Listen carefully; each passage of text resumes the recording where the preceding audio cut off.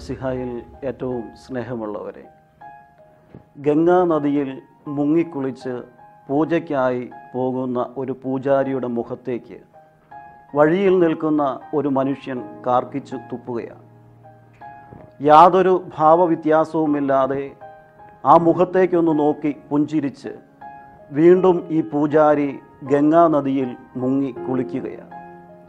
ഓരോ പ്രാവശ്യവും കയറി വരുമ്പോഴും ഇപ്രകാരം മുഖത്ത് തുപ്പുമ്പോഴും യാതൊരു ഭാവവ്യത്യാസവുമില്ലാതെ കടന്നുപോകുന്ന പൂജാരി. തൊണ്ണൂറ്റി ഒൻപത് പ്രാവശ്യവും ഗംഗാനദിയിൽ മുങ്ങി കുളിച്ചു കയറുമ്പോൾ മുഖപ്രസന്നത നഷ്ടപ്പെടാതെ ശാന്തമായി കൂടുതൽ തീവ്രമായി നടന്നു നീങ്ങുമ്പോൾ മുഖത്തു തുപ്പുന്ന മനുഷ്യൻ വന്ന് കാൽക്കൽ വീണുകൊണ്ട് ഇപ്രകാരം ചോദിക്കും. തൊണ്ണൂറ്റി ഒൻപത് പ്രാവശ്യവും ഞാൻ അങ്ങയുടെ മുഖത്തേക്ക് കാർക്കിച്ചു തുപ്പിയപ്പോഴും മുഖപ്രസന്നത നഷ്ടപ്പെടുത്താതെ വളരെ ശാന്തമായി അങ്ങേക്കായിരിക്കുവാൻ എങ്ങനെയാണ് സാധിച്ചത്? പൂജാരി ഇപ്രകാരം മറുപടി പറഞ്ഞു അത് ഞാൻ സ്വീകരിച്ച നിലപാടാണ്. ഗംഗാനദിയിൽ മുങ്ങിക്കുളിക്കുമ്പോൾ എന്റെ പാപങ്ങളിൽ നിന്നും ഞാൻ മോചിച്ച് മോക്ഷം പ്രാപിക്കും എന്നുള്ള കാഴ്ചപ്പാടാണ് അതിന്റെ കാരണം.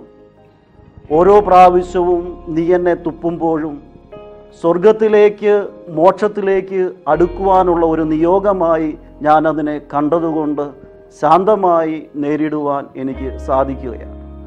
പ്രിയമുള്ളവരെ ഈ നോമ്പുകാല ചിന്തകളിലൂടെ കടന്നു പോകുമ്പോൾ ജീവിതത്തിന്റെ രോഗങ്ങളും ദുഃഖങ്ങളും സങ്കടങ്ങളും കടബാധ്യതകളുമൊക്കെ നമ്മെ തളർത്തുന്ന കുരിശുകളായി നമുക്ക് പലപ്പോഴും തോന്നുമ്പോഴും ജീവിതത്തിൽ നമ്മൾ എടുക്കുന്ന മനോഭാവമാണ് ജീവിതത്തോട് നമ്മൾ പുലർത്തുന്ന കാഴ്ചപ്പാടുകളാണ് ഇതിനെ സങ്കടകരവും സന്തോഷകരവുമാക്കി മാറ്റുക. അതുകൊണ്ട് ജീവിതത്തിലെ ദുഃഖങ്ങളെല്ലാം ദുരിതങ്ങളല്ല എന്ന് മനസ്സിലാക്കിക്കൊണ്ട് തികഞ്ഞ പോസിറ്റീവായിട്ടൊരു കാഴ്ചപ്പാട് ജീവിതത്തിൽ രൂപപ്പെടുത്തിയെടുക്കുവാൻ നമുക്ക് പരിശ്രമിക്കാം. അങ്ങനെ നമ്മുടെ ജീവിതത്തിന്റെ കുരിശുകളെയും സന്തോഷങ്ങളാക്കി മാറ്റുവാൻ ഈ നോമ്പ് കാലത്ത് നമുക്ക് സാധിക്കട്ടെ. ആമേ